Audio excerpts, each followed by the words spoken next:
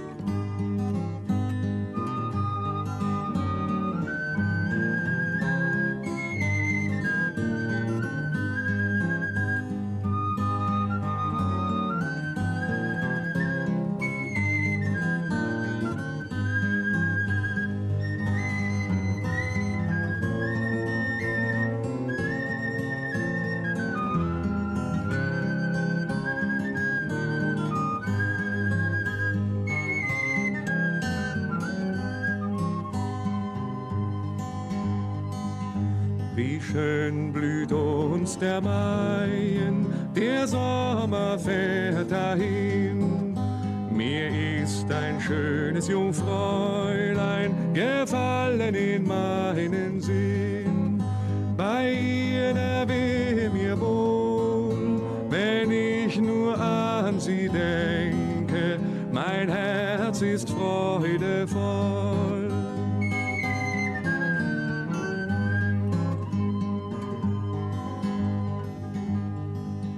Bei ihr, da wär ich gerne, bei ihr, da wär mir wohl.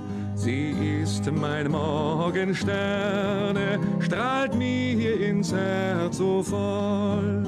Sie hat einen roten Mund, tät ich sie darauf küssen, mein Herz wird mir gesund.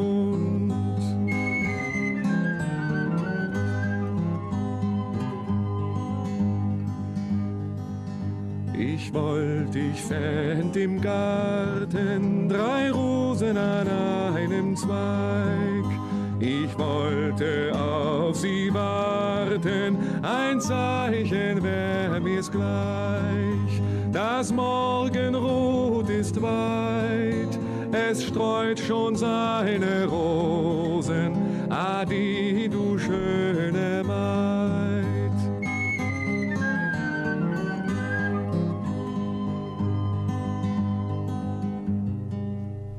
Ja, einen wunderschönen guten Abend hier bei Nationalpark Radio. Heute wieder aus dem Nationalpark Radiostudio in der Nationalparkgemeinde Neuhütten. Jetzt habe ich sehr häufig Nationalpark gesagt, damit man auch endlich mal versteht, wo wir hier sind.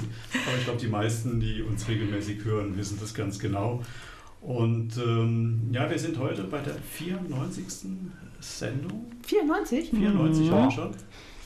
Hammer. Ja, und ähm, wir haben uns, ja, es hat sich so ergeben, es war so eine Idee, da ist das Wort gefallen, Maie. Ähm, Maie. ich weiß nicht, ob viele ähm, den Begriff was anfangen können. Die von? Law schon, gell? Aber nur die von hier. Ja, ja, ja, ja. Wahrscheinlich. Also Maie, ich habe es auch so ein bisschen versucht zu erklären in der Erklärung, was wir heute machen wollen. Und da steht zum Beispiel, Maie ist ein Begriff aus dem Schatz des Hochwälderdialektes. Ähm, ich habe mal versucht, es irgendwo anders in ähnlicher ähm, Aussprache, auch in Hochdeutsch zu finden, aber das ist mir nicht geglückt. Und deswegen versuchen wir das so ein bisschen zu umschreiben, was man unter Mai versteht. Also Mai bezeichnet im weitesten Sinne ein Lebensgefühl des sozialen Umgangs und der Kontaktpflege mit seinen Nachbarn, Mitmenschen, Bekannten, Freunden, Verwandten. Es ist auf jeden Fall ungezwungen und spontan und in der Regel auch ohne einen besonderen Zweck, dass man sich zusammensetzt oder steht. Es können nur zwei sein, es können noch mehrere sein und man unterhält sich dann so ja, über Belangloses oder weniger Belangloses, über Alltägliches, das Wetter, Neuigkeiten, manchmal auch Politisches. Oder im Grunde so, man schwätzt über Gott und die Welt. Ja, es ist so ein Teil eines sozial-kulturellen Lebensgefühls, dass man hier im Hunsrück, im Hochwald, im Iderwald, vielleicht auch im Sohnwald, ich weiß nicht, aber jedenfalls im Hunsrück ist es schon verbreitet.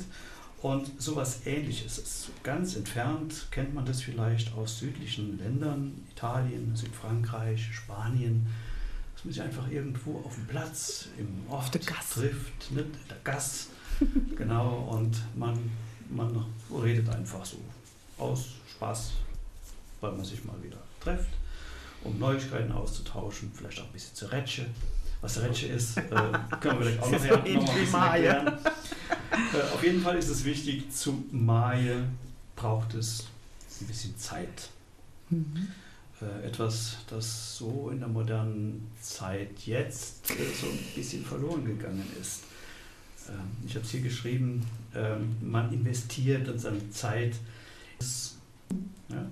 Und alles das ist nicht Maje. Stimmt. Und äh, ja, und die Kommunikation hat sich auch ein bisschen verändert. Da kommen wir vielleicht auch im Lauf des Abends noch darauf zurück, dass man vor allem die jüngeren Leute, aber nicht nur auch die, sondern auch die Älteren, kommunizieren nicht mehr so, äh, dass sie zusammenkommen, sondern sie schicken WhatsApp oder posten irgendwo in Facebook oder Instagram was. Und die ganz Jungen machen jetzt irgendwie mit TikTok und äh, zwei Sekunden Videoschnipsel und finden das ganz toll. Und es gibt dann noch andere digitale Bequemlichkeiten, äh, wie man kommunizieren kann. Aber auch das ist alles nicht Maya. Mhm. Ich muss natürlich jetzt sagen, das richtige Maya äh, findet natürlich nicht in einem Radiostudio statt. Noch nicht vor Mikrofon. Nein, das ist nämlich viel zu privat. Genau. Ja, das richtige Mai ist spontan, einfach mal miteinander ein bisschen schwätze. Und äh, jetzt verlasse ich so ein bisschen das Hochdeutsch. Da könnte man vielleicht auch noch nachher drüber reden. Das Deutsche, das Hochdeutsche ist ja mittlerweile völlig vergendert und sonst irgendwie was. Ist, irgendwie kommt man es gar nicht mehr vor, als sei es noch Deutsch. Deswegen versuche ich jetzt mal ein bisschen so zu schwätzen, wie ich normalerweise immer so daheim schwätze du. Wir haben jetzt hier am Tisch, wo wir jetzt Maje, da fange ich mal hier an. Angela, Hallo, guten Angela Abend. Enswart. Also Mal wieder. Angela Wiederholungstäter. ist ja, genau, seit äh, sechs Der Jahren gibt es Sendung. Nationalparkradio Ja. und von der ersten Minute an war Angela dabei. Dann haben wir Juliane. Hallo, ein Neuling, sehr nervös. Machst du schon mal gut. Ja, Guter Anfang. das klang schon sehr äh, Professionell. unseriös. Professionell, genau. Ja. Ja, Juliane, schön, dass du heute hier bei uns mal live am Mikrofon bist. Wir hatten ja schon ein paar, mh, auch literarisches von dir eingesprochen und auch schon eingespielt. Da erinnere ich mich zum Beispiel an eine Geschichte eines Kanarienvogels, die Ulla. Die Ja. Ulla, genau, ja. Die Ulla, ja. Die Ulla, Schöne genau. Geschichte. Aber ich würde auch gerne noch in dieses Thema Maya reingrätschen, weil Ja, es gibt ja das. einen deutschen Begriff Kaffeeklatsch. Und viele Leute denken dann, Maya ist Kaffeeklatsch. Aber vom Ursprung her ist bei der Maya gearbeitet worden und Ja. jeder hat seine Handarbeit mitgebracht. Ja. Und so zu, mein, zu Omas Zeiten, also ich komme aus Ida, gebürtig, äh, zu Omas Zeiten war das immer Strickzeug. Da hatten alle ihr Strickzeug dabei. Oder sie haben Gobelin gestrickt. Irgendwas haben sie auf jeden Fall mit der Hand gemacht. Und es wurde dann nicht verköstigt, also nicht Kaffeeklatsch mit Kaffee und Kuchen, sondern Mhm. es war wirklich eine Maie, auf der gearbeitet und sich unterhalten wird. Mhm. Und es geht wohl zurück auf dem Hunsrück, äh, auf die Wintermonate auf dem Hunsrück. Die Spinnmaie war das ursprünglich. Die, äh, da haben sich die Leute eines Dorfes getroffen, bei immer einem rundum, aber jeder musste mal heizen. Mhm. Und äh, dann haben die sich ihre Kappen mitgebracht, die sie am Sticken waren oder Mhm. was immer so Mhm. zu tun war. Und das ging dann in eben reihum durchs ganze Dorf und hat sicher dazu geführt, dass die Dörfler ein gutes Gemeinschaftsgefühl entwickelt ja. haben. Mhm. Und die Wintermonate konnten lang sein und hart auf dem Hunsrück. Und wenn dann einer nur geheizt hat für alle, war das sicher auch sparsam. Mhm. Ja. Mhm. Und dann die vierte im Bunde ist dann die Maria. Ja, hallo, Meine guten Frau. Abend. Ähm, Sie, wir sind schon über 40 Jahre verheiratet und wohnen hier im Hunsrück schon wie lange jetzt? Ja, 40 Jahre, ne? Über 40 Äh, Jahre. Ganz, das war ja eine Zeit lang in ja, Mainz. ja, gut, Also fast 40 35 Jahre, sagen wir mal. 35 Jahre.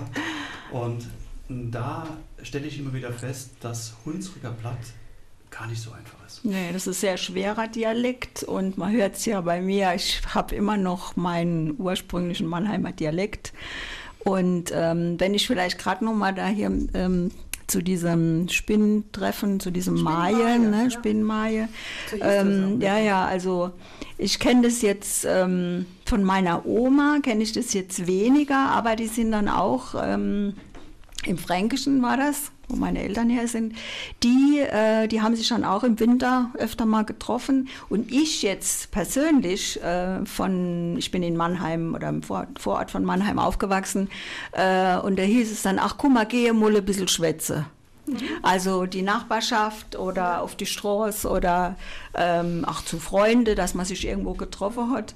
Und ähm, es ging dann auch meistens nicht um was Besonderes, ne? sondern man hat gesagt, ach komm, wir gehen mal noch mal ein bisschen schwätze und da sieht man sich mal noch mal und so. So war das. Ne? Also es ist, war jetzt auch kein richtiges Themenziel irgendwie dabei.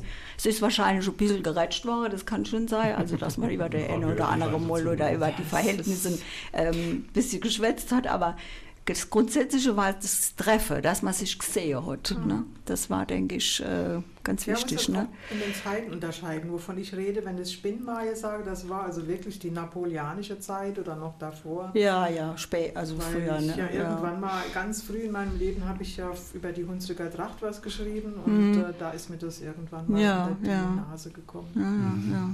Mehr, viel mehr weiß ich aber auch nicht, frag mich jetzt nicht.